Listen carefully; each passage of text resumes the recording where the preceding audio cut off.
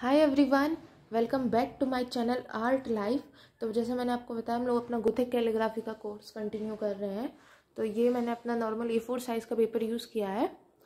और ये मैंने प्रीवियस वीडियोस में जो पेन बताया सेम पेन मैं यूज़ कर रही हूँ। तो आज हम लोग लेटर टी की प्रैक्टिस करेंगे। सो लेटर टी उसको जो मैं आपको बनाना बताती हूँ कैपिटल और स्मॉल लेटर्स में। It will be up stroke down stroke up stroke down stroke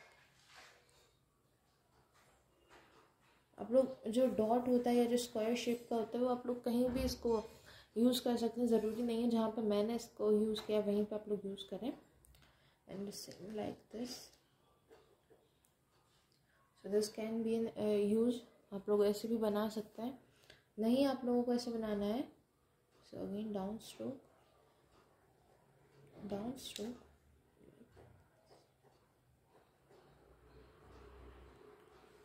So this is letter T. और अगर आप लोगों को इसको स्मॉल लेटर्स में प्रैक्टिस करनी है सो स्मॉल लेटर्स के लिए down stroke down stroke like this like this आप लोग फ्लरिशिंग भी इसमें ऐड कर सकते हैं। Down stroke, up stroke, and a down stroke. So this can be letter T. और अगर आप लोगों को और भी इसमें वेरिएशन ऐड करना है स्मॉल लेटर्स में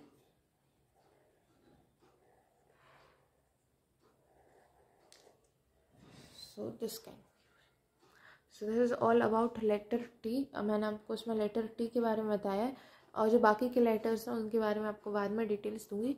सो थैंक यू